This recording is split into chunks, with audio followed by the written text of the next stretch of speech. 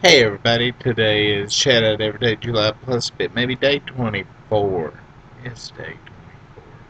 I'm gonna try to get this one done quick so I can upload quick when I upload it so I can go to bed. So shut up then and let's go. Uh, the first person today is uh, Manolis Vlog. I've not been watching him that long and I can't actually remember who I found him through. I think it was, I think it was Niche, but it might have been Chandler but uh, he's a musician. Music. I cannot say that word today. I tried to say it earlier for some reason. I cannot say musician. I said it. Woo! Uh, he's from uh, Greece, and he's got a really good vlogging style, and he's really likable. And I don't think you'll be disappointed if you go sub to him.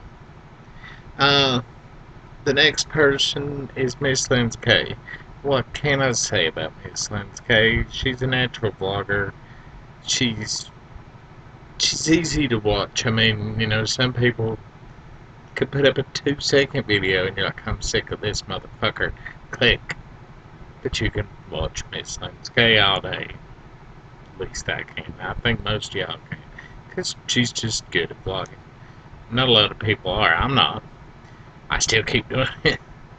But she is. She is.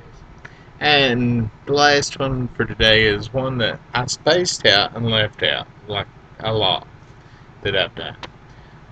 And that's, uh, oh god, I cannot remember what his real name is anymore. Uh, I used to know his real first name, at least. but, uh, his username, Battlefield Doktor. And yeah.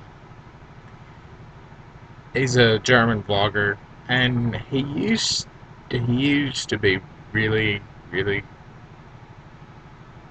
really into the community and doing stuff.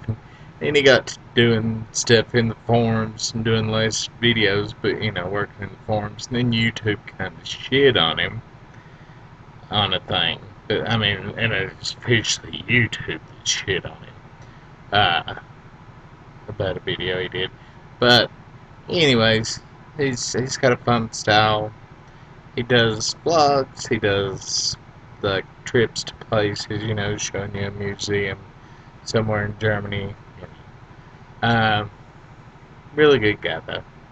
And he just commented on one of my videos on my one of my Operation Fat Ass videos. And he said he might be he might try to make a comeback. And I, I think I think he should. I think y'all should go check him out give him some support and encouragement to come back. And shit.